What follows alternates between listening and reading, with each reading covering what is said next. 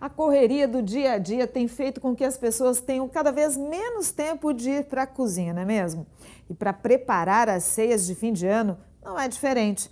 Por isso, muita gente tem optado em comprar tudo pronto.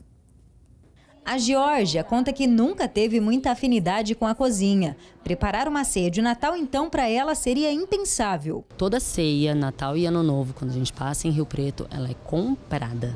Nos melhores lugares, a gente escolhe exatamente o que um gosta, o outro gosta, que vai participar, que vai estar presente nesse dia especial. Mas cozinha, não. Assados, massas, saladas. A ceia de Natal costuma ser farta e variada.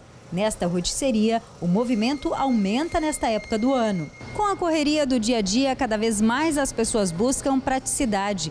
E isso inclui as ceias de fim de ano. A gerente de atendimento da rotisseria fala que o estabelecimento monta um cardápio do que costuma servir para os clientes e que algumas pessoas procuram algum prato específico, enquanto outras querem a ceia completa. A gente se prepara antecipadamente para estar tá pegando as encomendas. Liberou um cardápio no dia 15 de novembro, a gente já tinha o cardápio da ceia de Natal, para o pessoal estar tá fazendo seu pedido antecipado.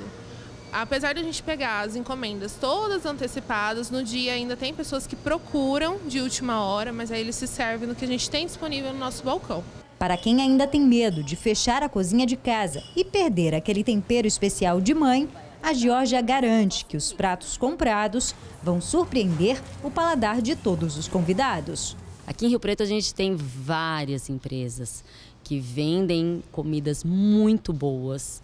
Então, nós compramos dessas pessoas que são muito boas, cada um com a sua especialidade. A minha não é essa, então eu compro de quem tem essa especialidade e vai ser uma ceia deliciosa.